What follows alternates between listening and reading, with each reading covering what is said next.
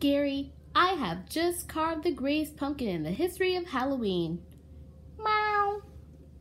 Hi, Patrick. Aren't you going to carve your pumpkin? What's a pumpkin?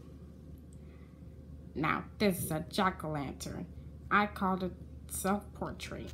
Ooh, scary. What you doing with your self-portrait, Squidward? Throwing it away? You better probably dispose your yours to SpongeBob. Squidward's right. Time to toss out the old gourd. I can't do it. There you go, Gordy. That's where you belong. You'll be just fine. SpongeBob. Yes, Squidward, my friend. Get rid of the stinking pumpkin. Oh, Gordy. I guess Squidward's right. I'll have to find you a new home. First thing tomorrow. Okay, Gordy. Time for you two.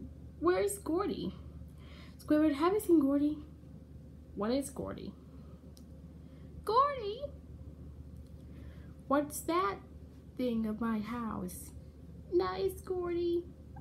I want it out of my yard. Now, Squidward, Gordy's just a little...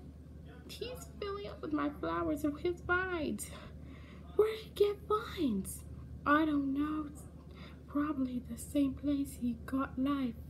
He's spitting seeds. He seems mad. He seems like a monster. And how did throwing pulp at us? I knew I should have cleaning him out better. That horrible beast had trapped us. What are we going to do? Sing songs?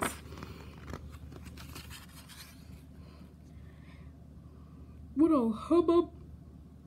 My jack-o'-lantern came out like turned into a monster and attacking us. I just thought.